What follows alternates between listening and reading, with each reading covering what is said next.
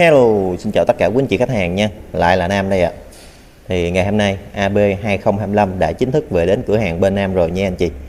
Thì chiếc bên trái màn hình là AB 125 Còn chiếc bên phải màn hình là AB 160 Video này Nam sẽ quay cho anh chị xem chi tiết hai con xe này Và sẵn tiện chia sẻ với anh chị luôn là xem giữa chiếc xe AB 2025 với AB 2024 Nó có những điểm gì giống và khác nhau hay không. Anh chị nào quan tâm thì cùng tham khảo video này của Nam nhé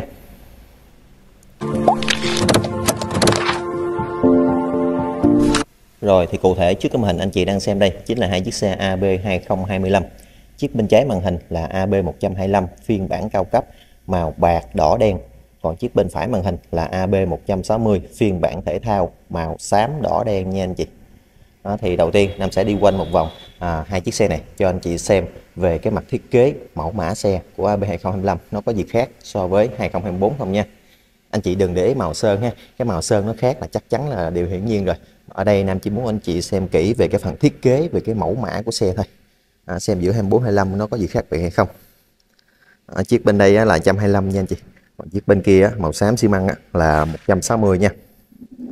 Đó, thì theo cái nhìn nhận nhanh của Nam về hai chiếc xe này thì nó hoàn toàn giống nhau về mặt thiết kế. Nói chung là hai chiếc xe này vừa mới về tới cửa hàng thôi anh chị. Là Nam làm video chia sẻ với anh chị ngay. Nó hơi ngược nắng hơi tối anh chị thông cảm nha về thiết kế thì cá nhân năm nhìn thấy là nó không có gì khác biệt hết hoàn toàn giống với 2024 ha. Rồi một chút xíu nữa năm đi chi tiết cho anh chị dễ thấy hơn đó. rồi đây là phần ờ, hông của xe nè. Công nghệ vẫn là công nghệ máy mới EP cộng ha. Rồi 160 thì vẫn có công nghệ thắng ABS 125 thì chưa có ha. Rồi bây giờ mình sẽ đi vào chi tiết nha anh chị. Đi vào chi tiết từng phần luôn. Đó, đây là phần đầu xe nè anh chị. Đó, phần đầu xe thì uh, AB125 vẫn giữ nguyên lại cái nắp chắn gió thấp ha ngang bằng với nắp tay lái. Đây chỗ này nè anh chị. À, nắp chắn gió này nó bằng luôn. Còn AB160 cũng vậy luôn nó vẫn giữ nắp chắn gió cao này rồi về phần mặt ngã phía trước nè. Rồi đây là hệ thống đèn nè anh chị. Hệ thống đèn là không có gì khác biệt luôn nha anh chị. Pha cốt led nè đèn định vị ban ngày led nè. Tuy nhiên chỉ có cái đèn xi nhan là đèn halogen thôi. Nó cũng giống như 2024 luôn. Ừ rồi, đi xuống dưới cái phần à, kích thước của mâm lớp rồi, xem nó có gì khác không nha. AB 125 thì nó chỉ sử dụng thắng đĩa thường CBS thôi nha anh chị. Còn AB 160 thì nó có ABS này. Cái này là mặc định của nhà sản xuất nha. Anh chị mua 125 là sẽ không có ABS và anh chị mua 160 thì cũng ngược lại, không có thắng đĩa thường CBS 160 là mặc định là ABS 125 mặc định là CBS nha. Ở đây đây là cái xe 160 của ABS này. Heo dầu sơn màu đỏ ha vẫn là Nissin nha à, lần này thì cái vòng răng này thiết kế liền với cái đĩa luôn nha anh chị. À, đây kích thước của cái lớp này các. đây. 160 là 90 80 14 mâm vẫn là 14 minh bỏ là không có ruột nha anh chị. Đó rồi sang qua chiếc 125 đây, 125 anh chị. À, heo dầu vẫn là Nissin ha nó khác cái màu sơn thôi. À, thông số đây 80 90 14 ha. Kích thước vẫn là 14 ha vỏ là vẫn là vỏ không có ruột nha anh chị thắng để thường nhưng mà nó là thắng kết hợp ha. Không bị rai có nghĩa là anh chị bóp thắng sau nó sẽ liên kết với thắng trước luôn ha. Rồi dòng phía sau phần đầu trước thì về à, mẫu mã thiết kế và đèn đốt đồ mâm đồ là không có gì khác biệt rồi anh chị? Đây phần tay dắt. Ở trên nhìn xuống thì phần tay dắt nè anh chị. À, thiết kế à, nó bằng chất liệu bằng à, gan ha cái là chắc chắn nha. Sơn màu đen sơn bóng mẫu mã vẫn vậy. Rồi da yên thì 125 một tông màu đen. Còn 160 nó hai tông màu ha. Không biết là các phiên bản kia thì nó tông màu gì thôi, nhưng mà nó là hai tông màu ha. Này đen này xám. Rồi, tem chữ Epic. Này quay góc này anh chị thấy hai bên luôn. Nó vẫn là chữ 3D nổi nha anh chị. Vẫn là chữ 3D nổi. Nhưng mà nó khác biệt. Con cái là cái nước xi lúc trước là nó xi ờ, bản thể thao, bản đặc biệt đó là xi màu vàng còn bản này ờ, xi màu đỏ nói chung là chữ thì giống nhau nó khác cái màu xi với chữ thôi. À, giờ này ờ, thì có thêm cái tem phiên bản thể thao này có thêm cái tem cái này là cái tem dán nha. Đây. Đó, cái tem dán anh chị thích thì anh chị để anh chị không thích mua về hoàn toàn có thể lột nha. Rồi xuống dưới này. 160 bản thể thao này nó có cái số chỗ này nè anh chị. 160 tuy nhiên đây cũng là cái phần tem dán luôn. Này anh chị này cái tem đó này à, đây cái mí tem ở đây. Lấy nét kỹ cho anh chị xem. À, cái tem số 160 này. Đó. Là cái tem dán ha chứ không phải sơn 3D nha. Cái tem dán bên ngoài thôi. Gác chân. Rồi công nghệ máy SP cộng nè. Lốc máy của 160 thì sơn màu đen sơn nhám. Xem cái thông số của nó về dung tích xi lanh kìa 157 nha anh chị 157 cm khối ha. Lắp máy thì thiết kế vẫn vậy ha. Còn đóng cái chữ Honda nè. Công nghệ máy mới IP cộng 4 van phục có thì à, theo năm thấy phục có thì vẫn vậy nhưng không có chỉnh được nha. Cái này xây xây vậy thôi chứ không có chỉnh gì được nha anh chị. Đó. Đây, cố định ha. Một mức một không có chỉnh gì được nha. Cái này nó chỉ xây, thấy xây cho vui thôi chứ không chỉnh gì được hết. Rồi thắng sau thắng cơ hết nha. Thông số vỏ sao thông số vỏ sao là 180 14 kích thước vẫn là 14 minh ha vỏ vẫn là vỏ không có ruột nha anh chị. Rồi phần đèn. Phần đèn à, đèn hậu là đèn led đèn xi nhan là đèn halogen. À, có đèn soi tớp ôi xin lỗi đèn soi biển số miếng phản quang. Bên đây là cái bô nè. Làm mát bằng dung dịch là mát bằng nước nha. Hai phuộc nha anh chị. Rồi, cái phần tem ốp sườn bên phải nè. Năm quay 960 cho anh chị xem trước nha sàn để chân rồi nè. Sàn để chân rồi thì cũng y gan như vậy luôn. À, từ hai cái nắp cốp hai bên nè yếm ổ khóa nắp bình xăng nè. Đó, nó cũng giống vậy luôn. Rồi năm quay 925 cho anh chị xem. Đây là 125 anh chị. À, 125 thì nó không có tem ha nó không có tem dán. Nó chỉ có tem chữ Eplex 3D nổi thôi. Nhưng mà nó khác cái màu xi. Chữ vẫn giống nhau ha cách điệu giống nhau hết nhưng mà nó khác cái màu xi. Cái kia xi màu đỏ này xi màu trắng ha. Rồi cái phần chỗ này thì nó không có cái tem số ha. À, chắc là tùy phiên bản hay sao chắc bản ờ, 125 mà thể thao chắc nó sẽ có ha. Tại vì xe chưa có về đầy đủ nên em cũng chưa có uh, tìm hiểu rành về cái phần đó nữa. Nói chung là hai chiếc xe này có gì thì em chia sẻ thực tế đó nha. Công nghệ máy vẫn là IP cộng giống nhau này bốn van à, lốc máy thì sơn màu đen sơn nhám. Rồi sẵn tiện em quay cái cái cái dung tích xi lanh cho anh chị xem. Nằm trong kẹt hơi khó thấy tí chị thông cảm nha. Đây anh chị thấy không 124 cm khối. Rồi hột thì vẫn vậy luôn nha anh chị. Đây hột đây. À igen 160 luôn. À, cái này xài xài chứ không có chỉnh ờ, tăng đưa gì được cho nha anh chị. Lưu ý nha. À, tháng sau tháng cơ hết. Thông số bỏ sao nè. 90 90 14 nha à, thông số kích thước mâm vẫn là 14 bên hết nha anh chị. Bỏ không có ruột ha tất cả xe B 125 hay 160 tháng sau đều là thắng cơ hết nha anh chị. Không có thắng à, đĩa nha. Đây cầm đèn hậu nè. Giống vậy luôn. Đó, hai chiếc giống nhau nha. Tem chữ này giống nhau luôn khác cái màu xi thôi. Bô nè anh chị.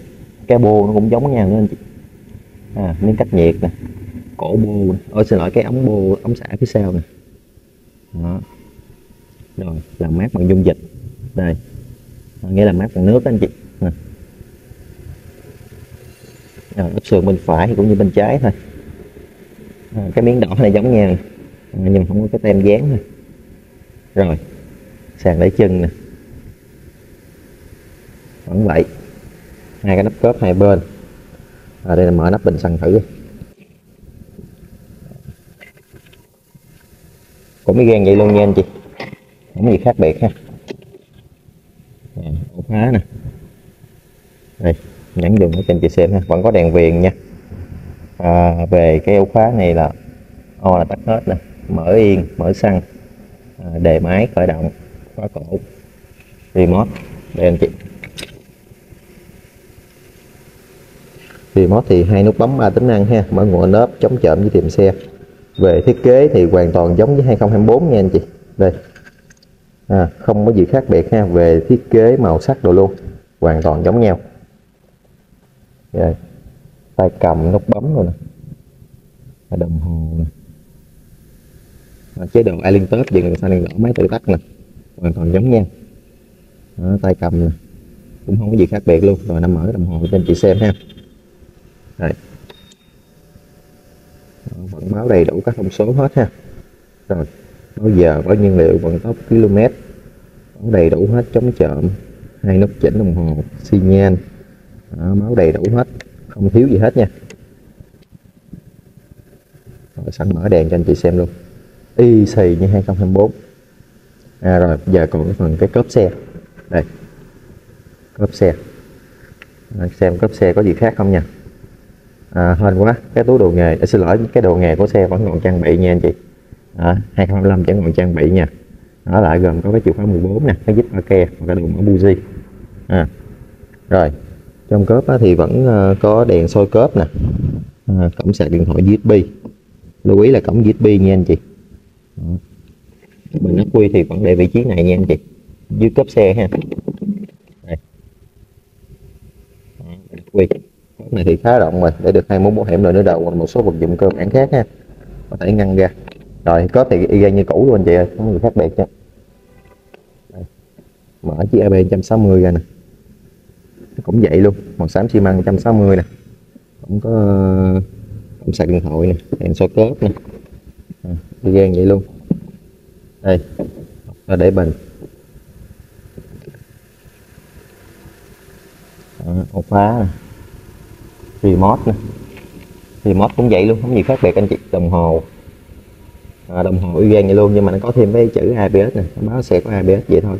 Còn lại là hoàn toàn giống nhau nha. Không có gì khác biệt nha.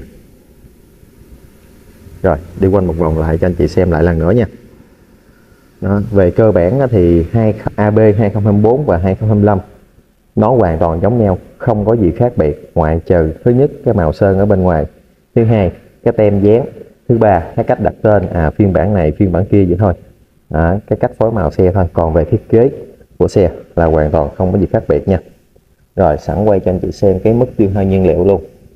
AB 125 mức tiêu hao nhiên liệu là 2,14 nha anh chị.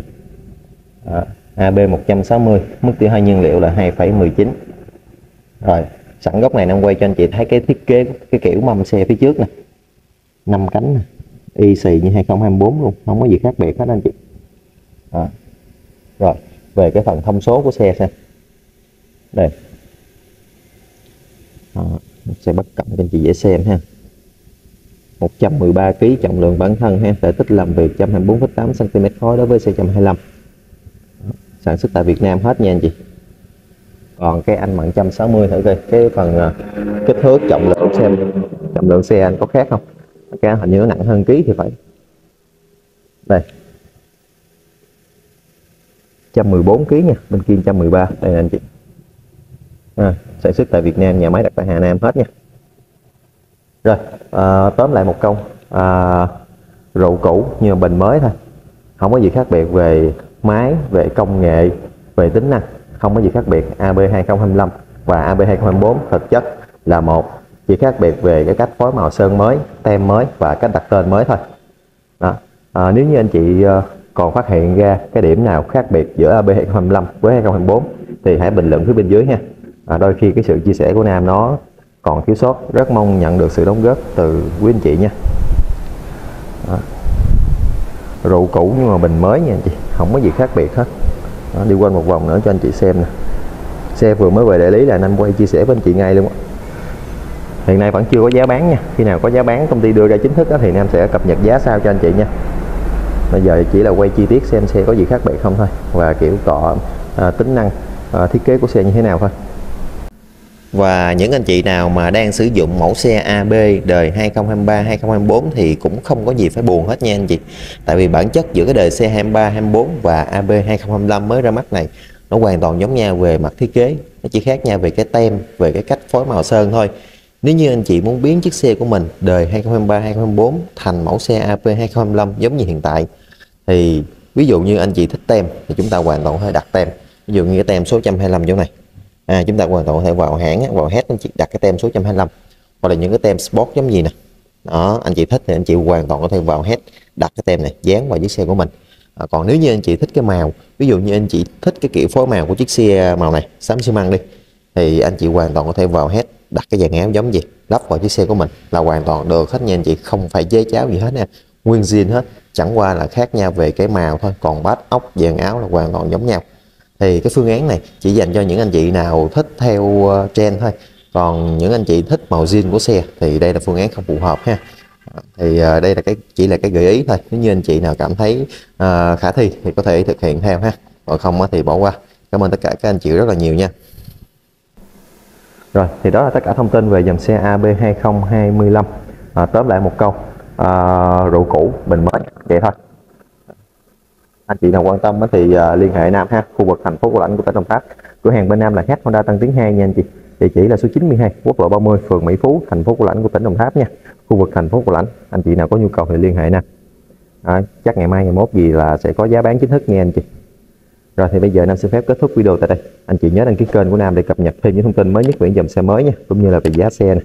Nam sẽ cập nhật liên tục những thông tin mới nhất về xe về giá để cho anh chị nào quan tâm thì chúng ta sẽ tham khảo nha một lần nữa thì cảm ơn tất cả quý anh chị khách hàng đã dành chút thời gian quý báu của mình để theo dõi video của Nam.